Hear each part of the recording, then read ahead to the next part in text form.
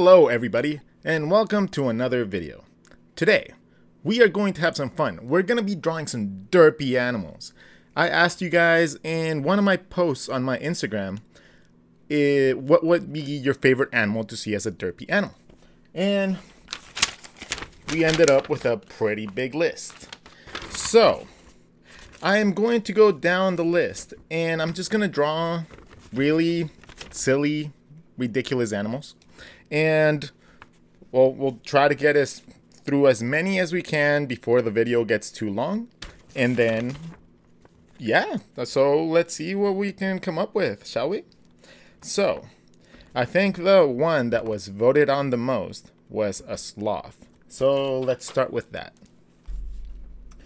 First, we're gonna pop up trusty Google over here. We're gonna look up an image of a sloth. And let's try to find one where you can actually see the animal properly. I want to see one where you can see the whole body. There you go. That one works. And copy image. We're going to go on to any design program. In my case, I like using Manga Studio or Clip Studio Pro. Clip Studio Paint Pro, that's the other name for it. So there you go we are going to go on to our layer and let's draw a sloth. Let's see. So I'm gonna talk to you guys through how I normally break down shapes. And hopefully you guys actually get a little understanding of how I break down animals and stuff. So for example, in this one, it's pretty simple. Like he has a face that's kind of like an oval he has a little beanbag shaped body and the legs are kind of like socks as well as the arms, you know. So let's take those concepts. And these aren't going to be super refined drawings, by the way. These are going to be like pretty rough.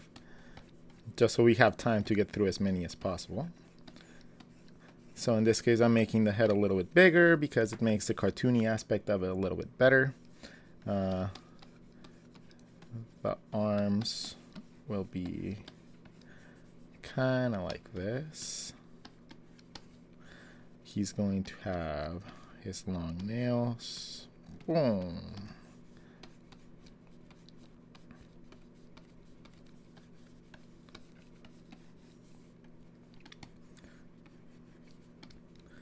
Okay, his little legs are gonna be like this. He's also gonna have his leg like claws or nails or whatever you want to call them. We're gonna erase just a little bit.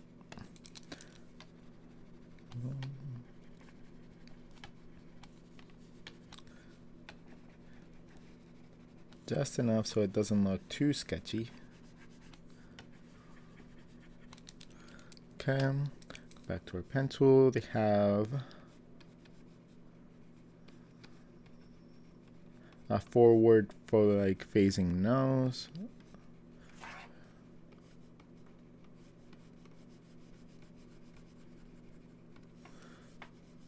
And this is where you get to have a little bit of fun. We're gonna make him blue. He's gonna have his little stripes. He has a little face mask aspect to him.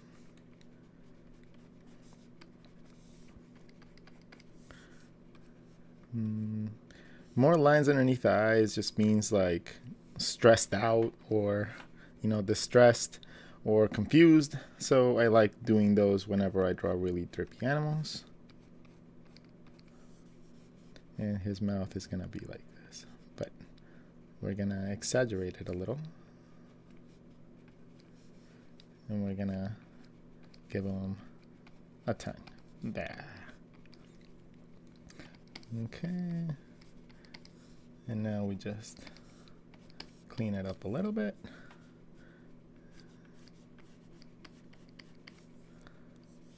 And let's give it a slightly, a little bit of color, just so it looks like.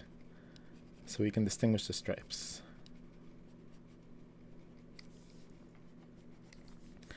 Let's make this bigger. Like I said, we're not going to worry too much about like refining too much detail because I want to get through as many as possible. Let's give the nose a little bit. And he has a little bit lighter.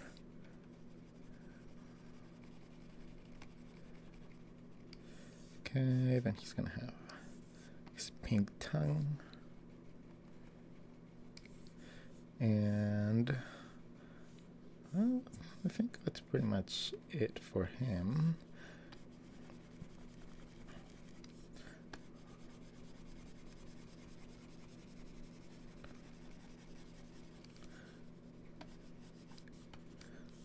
All right, so I think we have finished the sloth. Eh, let's give it a little bit of shadow. So it looks like he's sitting down. There you go. Derp. uh, now should be a little bit darker. uh, okay, so we have our sloth. Boom. Let's merge those two together. Put it aside. And let's erase this one because we don't need that. Let's go down list. So now we are going to draw the next voted on the most was an alligator. Let's find us an alligator. Doody doody doo. Alligator. Alligator. I can't spell. Alright, let's see. Images we are going to go with, hmm, there you go. Let's go that View image. I'm just gonna copy the image, copy, paste. Um, sorry if you guys can hear that dog outside. It's the neighbor's dog, and he is very loud and obnoxious. And I absolutely hate it when he barks when I'm trying to make a video, but it's not like I can stop him. So in this one, this body shape, it's a little bit different. It's a little bit more elongated. It's not necessarily just a beanbag shape. So let's do the same thing we did with the other one, shall we? Let's kind of break down the shape. The head is kind of circular with these two little elements. The neck has its own big shape and then the tail has its own really big shape. Boom. Okay, so with those into consideration, let's start drawing an alligator. So we're just gonna loosely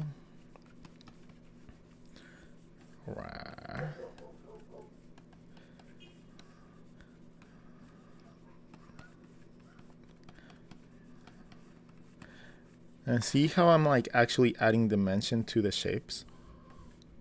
In this case, it's more like this. The eyes sit on top. So I'm just gonna give a little indication of that. The neck kind of drops down and then the body. And since we don't want to run out of space, we're just going to curl the body of the tail that way. Just gonna give it some some leggies with some feet, the belly, and then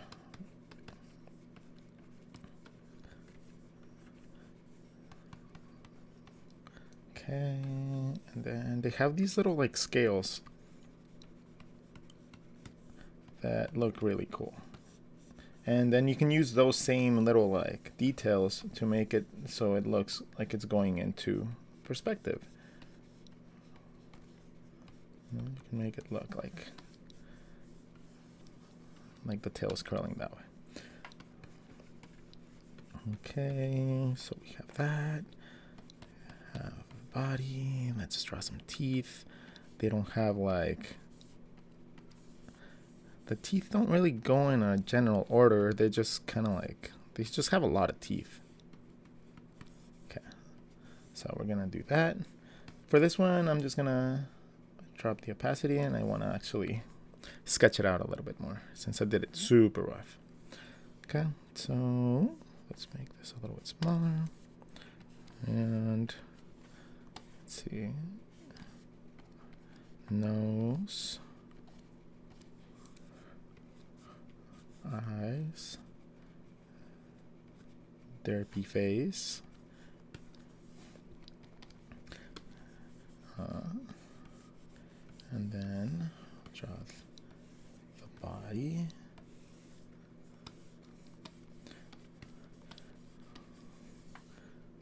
Let's see, how does that go? Okay, so it has like swirlies. It's not necessarily like a straight line. So let's keep it like that.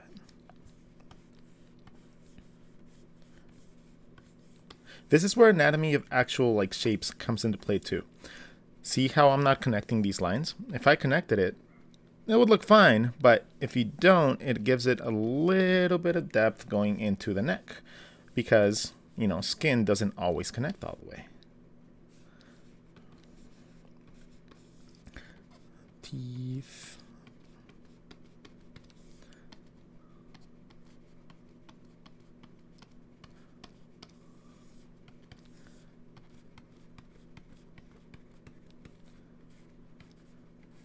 tongue.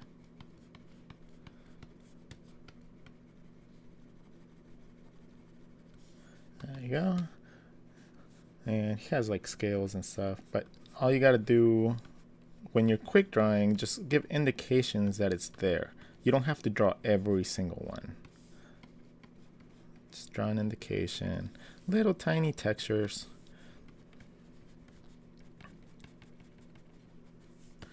Okay, and then the little bumpy things. Like I said, at this point, I'm not really concerning myself with much detail. I just want to show you guys how I normally do concept work for myself. And hopefully it helps you guys understand that you don't have to do every single drawing incredibly detailed it can literally just be little quick doodles. And then, you know, if you wanted to go in and refine the idea because you liked it, then you can do that. And that goes for every single type of art. You should always work on some concept work. You know, nice and loose like this. And then go in and worry about finishing details later.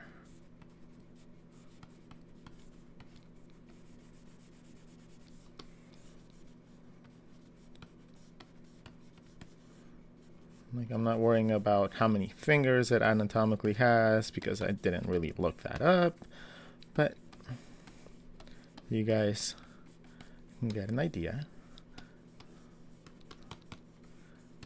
of how quickly you guys can get an idea down. And let's draw a little bird because alligators normally have little birds.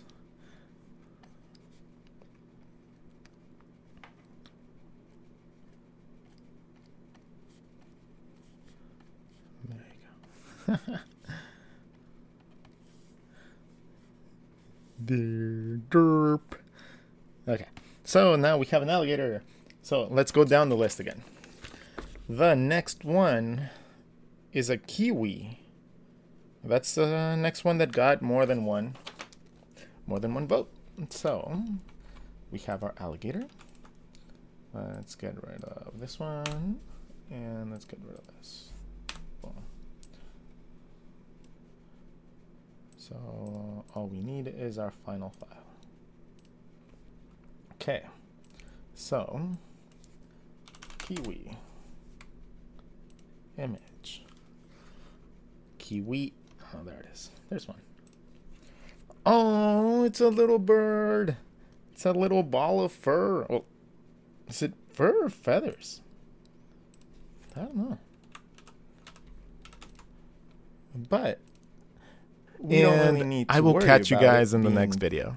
feathers or and because we're just looking at shapes. This is one thing that is super important for all you guys to realize.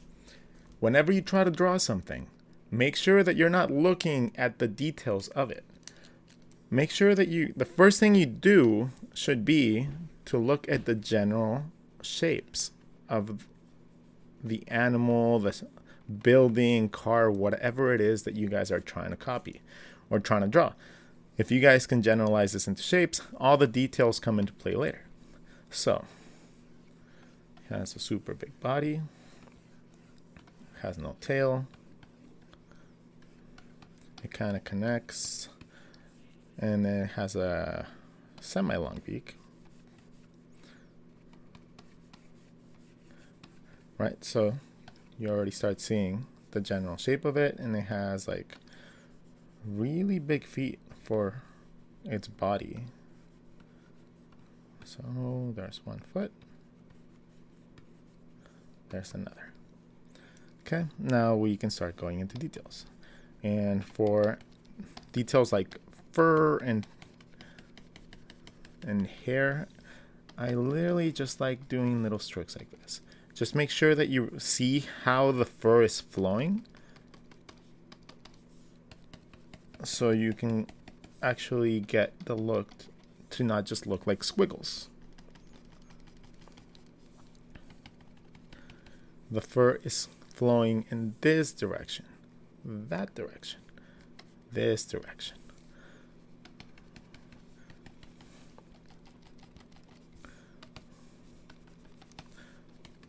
Like I said, you don't have to fill up the whole thing. Right now, we're just working on little quick concepts.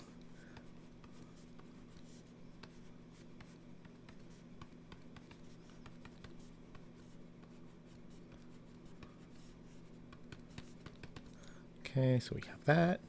We're gonna go into the beak. The beak actually is surrounded by the little fur texture. So you gotta make sure that it's like going from behind it.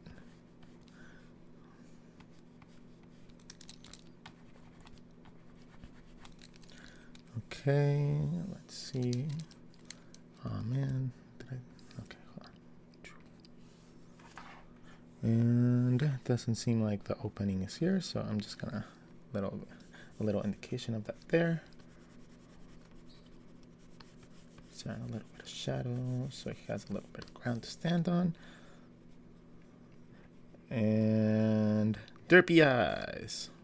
That. Some of these are coming out kind of funny. Okay, and since we finished that one pretty quickly, we can just eyedropper some of the colors here. Hmm. And let's just give it a, some quick color.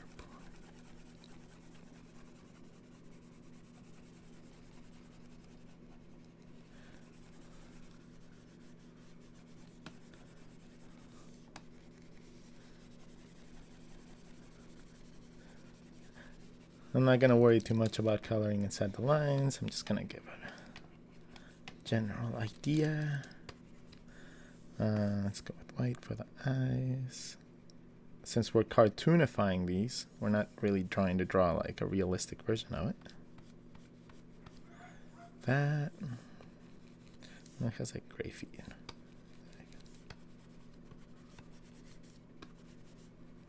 And the last final touch is to give it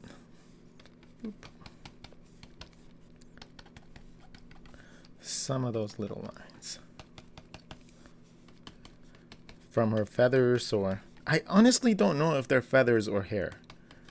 If you guys know, just leave it in the comments so I can actually know. It's kind of interesting. Also, they don't look to be too big. They're tiny, huh?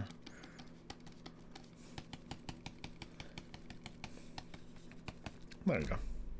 Cool. There you go. Kiwi. Kiwi. Okay. Just for size comparison, we're going to draw a little brooch.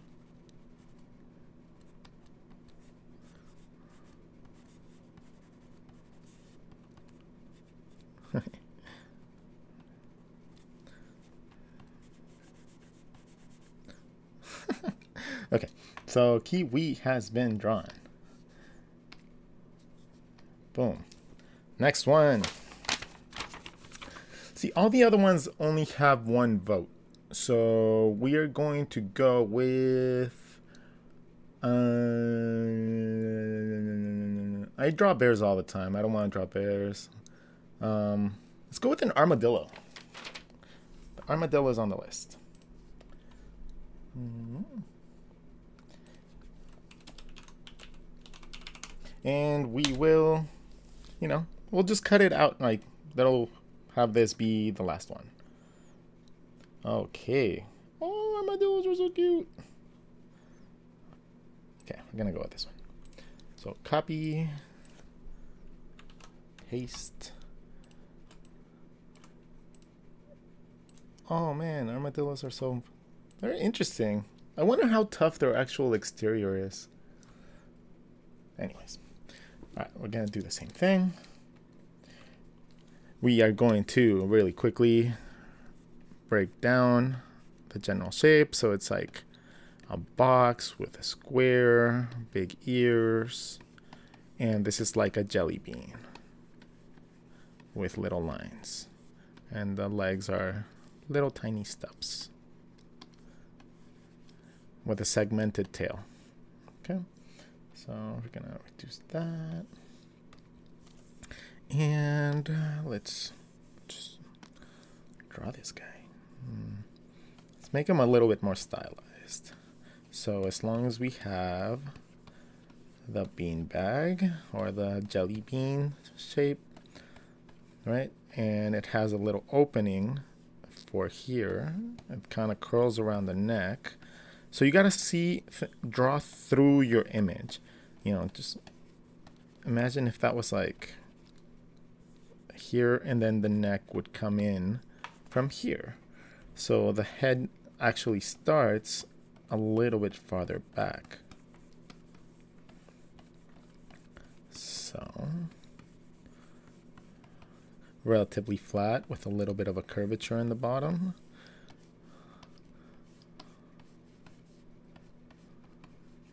Look at how the ear bends.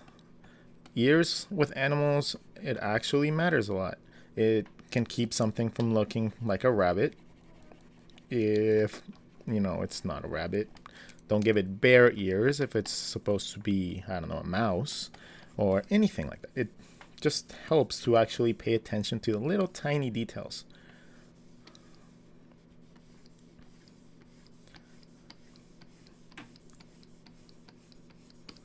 Okay, I'm gonna give it. I like giving big feet to animals. It makes them look more puppyish. You know how puppies have like super big feet for for their bodies. I like doing that with most of my animals.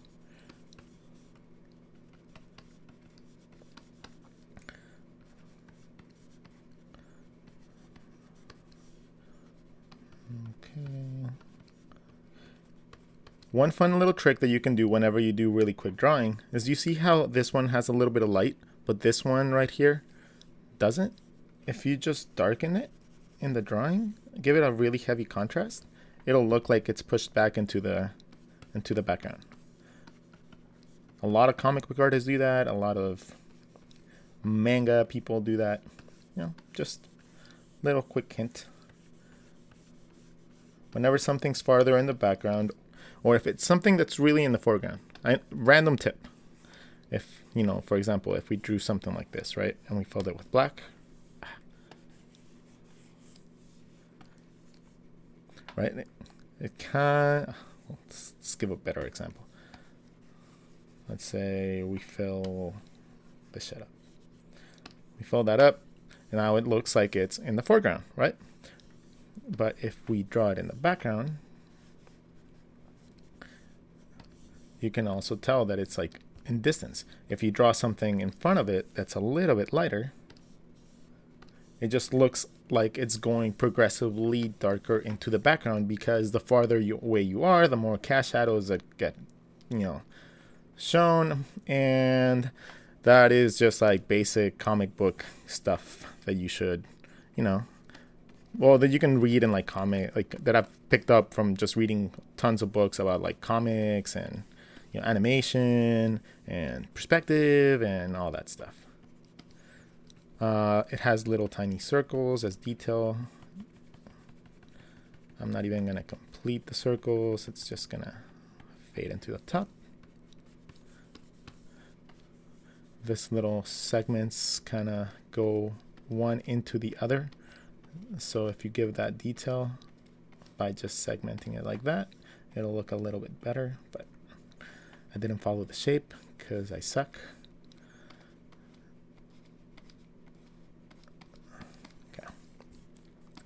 and its mouth it's weird. It's like it just goes underneath into the snout into a flat forehead into the nostril. And it also has the little armor looking segments and you know obviously the face is where you get to stylize it so, I'm just gonna make it like a floating eye guy.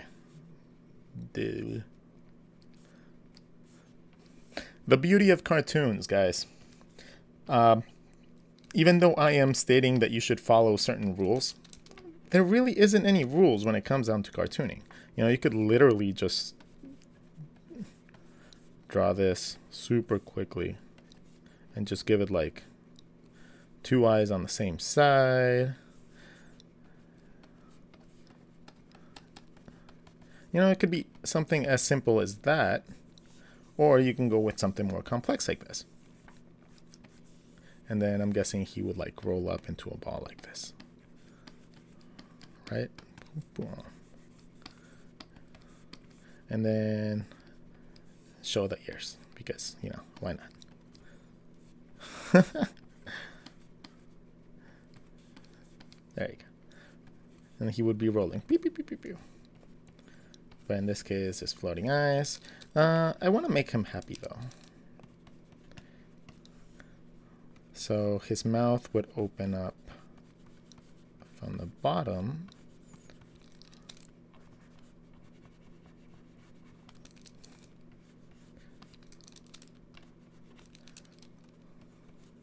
Gonna give it, I don't know if they have teeth, but I'm just gonna give it like two buck teeth. There. And he's going to have his tongue hanging out. But his tongue would be coming from inside, like this.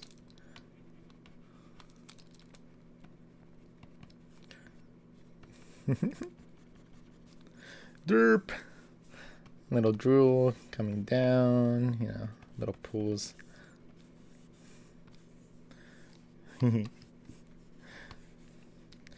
And there you go. All the tail. Oh, whenever you draw tails, remember that they're cylinders. So it's you gotta make sure that, especially when they're segmented like this, that you draw through the object. The same thing that we did here to make sure that it actually looks like it has depth. You segment it, and then you can go back in and erase the one, the little sections that you're not supposed to see but at least you know that it's going in the right perspective. And it helps a ton. Little tiny details like that help. And has little hairs, like armpit hairs. And then, then these have like little lines like this.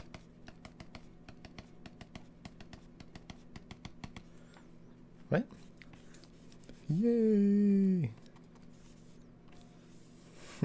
Yay! All right, so let's look back at the animals that we do today. Okay, that's this. This merges into that.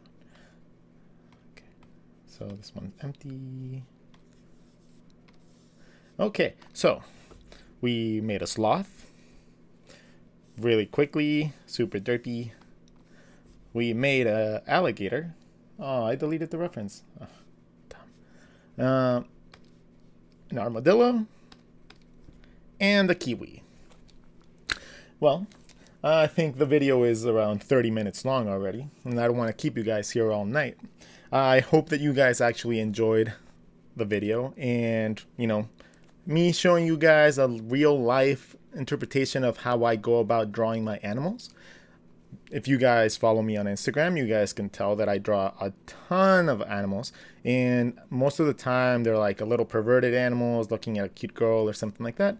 But it's the same concept. Just take, you know, a reference image, and then, you know, once you actually break down the character, you can start, you know, moving them around and learning how they move. Let's see.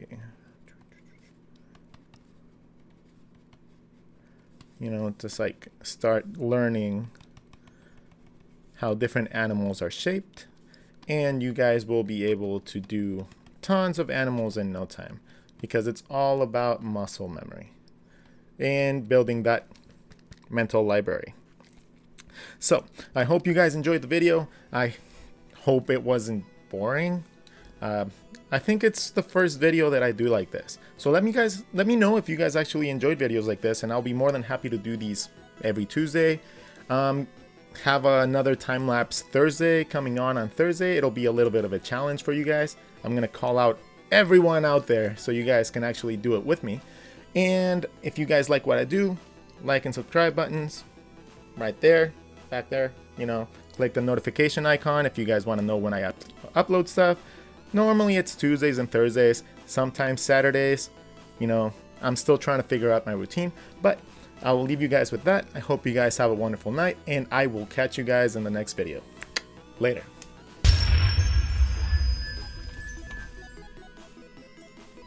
Thank you guys so much for watching my video. If you guys want to see some more, you guys can click right here or right here and you guys can check out a ton more videos from me that will teach you guys how to become a better artist. Thank you guys so much and I'll catch you guys in the next one.